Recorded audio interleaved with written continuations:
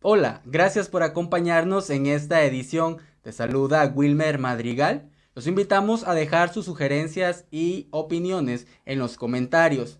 Estos son los titulares más destacados para hoy, viernes 3 de febrero.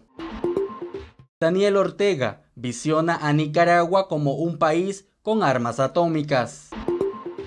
Ministerio de Gobernación cancela personalidad jurídica a la Asociación de Bancos Privados de Nicaragua. Dictador Daniel Ortega acusa a la Organización de las Naciones Unidas de ser un instrumento de Estados Unidos.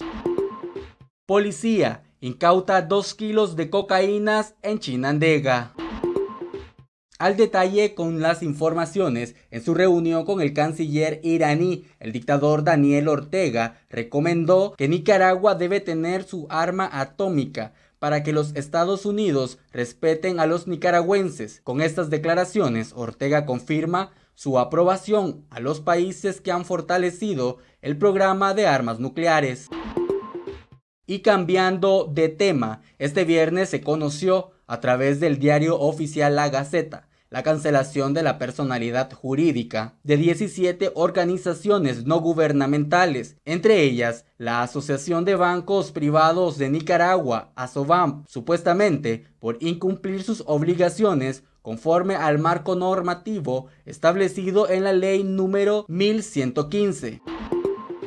Y avanzando con más información, el dictador Daniel Ortega acusó a la Organización de las Naciones Unidas de ser un instrumento que obedece a los Estados Unidos. Además señaló al secretario general Antonio Guterres de ser simplemente un instrumento de la supuesta política imperialista, al igual que los organismos de derechos humanos de las Naciones Unidas.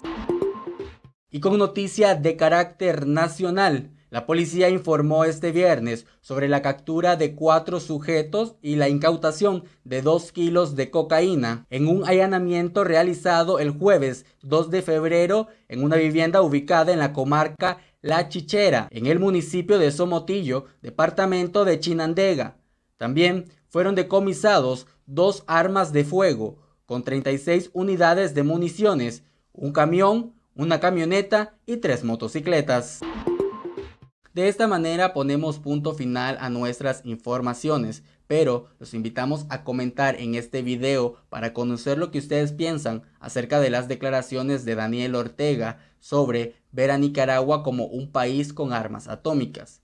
De igual manera, los invitamos a estar pendiente a nuestras plataformas digitales y a nuestro sitio web. Estuvo con ustedes Wilmer Madrigal.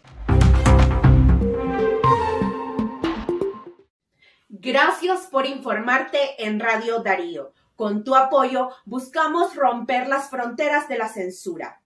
Ayúdanos a compartir este video, suscribirte a nuestras plataformas y dejarnos tu me gusta.